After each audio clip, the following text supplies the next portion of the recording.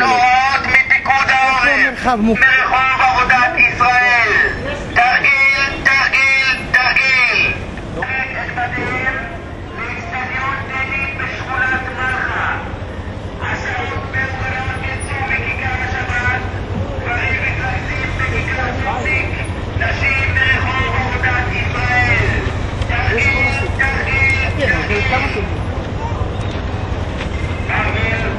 ما ما كافي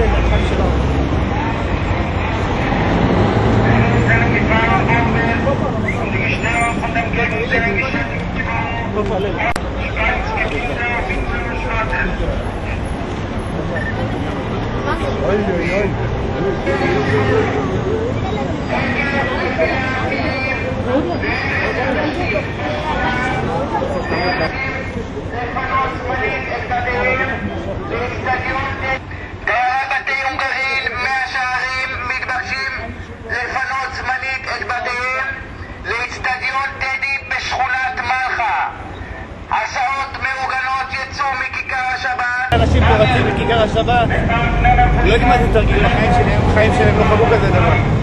איך תפרשו את זה נכון?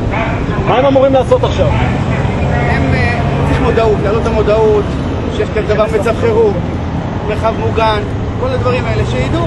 מה עכשיו צריך לעשות? אנשים ברחוב, מה הם צריכים לעשות? הם אה, קיבלו, כל אחד קיבל דיסק הביתה, איך אה, להתנהג בזמן חירום, זה מה שמתרגלים עכשיו את המדינה, איך להתנהג בזמן חירום, וגם בציבור החרדי שנמצא פה במקום שלא כל כך אה, מקושר אה, לענייני התקשורת.